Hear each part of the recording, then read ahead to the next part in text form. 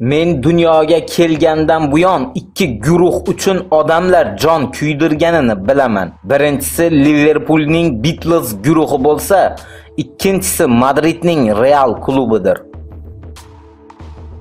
Dunyoda shunday odamlar borki, ular millionlar o'yini bo'lmish futbolni hamma narsadan ustun qo'yishadi. Ushbu o'yin yaxshi bilasiz, oddiy o'yin emas. Turfa olam bugun sizga nafaqat odamlar orasida, balki dunyo miqyosida ham o'ziga xos o'rin tutgan mazkur sport turining chinakam yuzi hisoblangan dunyo futbolining afsonalarini dunyoga tanitgan klub Madridning Real klubi to'g'risidagi asosiy faktlarni namoyish etadi.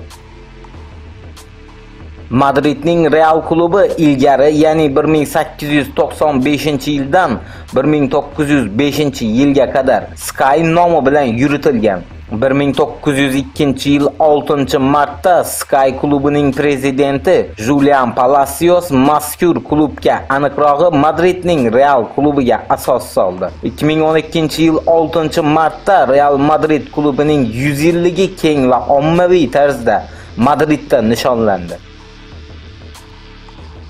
Madridning Real klubi La Ligada qatorasiga 5 marta g'olib bo'lgan yagona klub sanaladi. Bunday hol 1965-yilgacha va undan keyin 1986-yildan 1990-yilgacha bo'lgan davr ichida takrorlangan. Madridning Real klubi Chempionlar Ligasida 2012-yilgacha bo'lgan davr ichida 9 marta g'olib bo'lgan. Shulardan gollarga eng boyi esa 1961-1962-yilgi Bold klubi bilan bo'lib o'tgan uchrashuv hisoblanadi. Unda Real jamoasi raqib jamoasi darvozasiga javobsiz 9 ta gol urgan.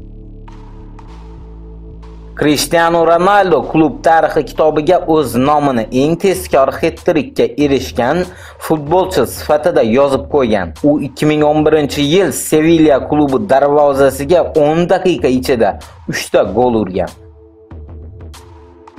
Madridning Real klubi tarixiga ko'ra eng katta g'alaba 1942-1943-yilda Qirol kubogi uchun bo'lgan uchrashuvda yarim finalda Barselona ustidan qozonilgan g'alabadir. O'shanda Madridning Real klubi azaliy raqibi bo'lmish Barselona ustidan 11-1 hisobida g'alaba qozongan.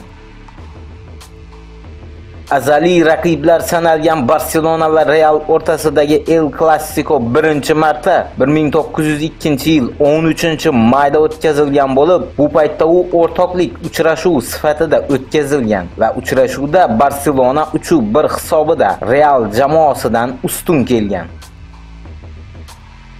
Madridning Real klubi tarixiga ko'ra, klubni eng ko'p vaqt davomida boshqargan murabbiy bu Miguel Munoz sanalib, u qatorasiga 15 yil klubga murabbiylik qilgan. Bu davr ichida u bilan birga klub 604 ta uchrashuv o'tkazgan va 14 ta eng kerakli mukofotlarga ega bo'lgan.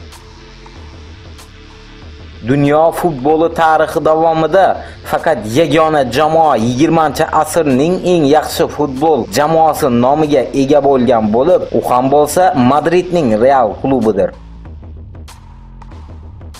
Santiago Bernabeu stadioni ilgari Chamartin nomi bilan atalgan bo'lib, Santiago Bernabeu aslida Real klubining prezidenti bo'lib, u 1943-yildan 1978-yilgacha, ya'ni 35 yil Madridning Real klubiga rahbarlik qilgan.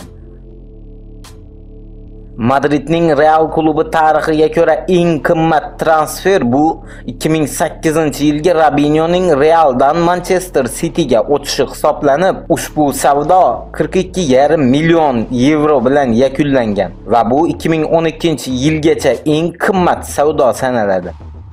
Turfa olamni kuzatishda davom eting. Yangi ma'lumotlar oldinda.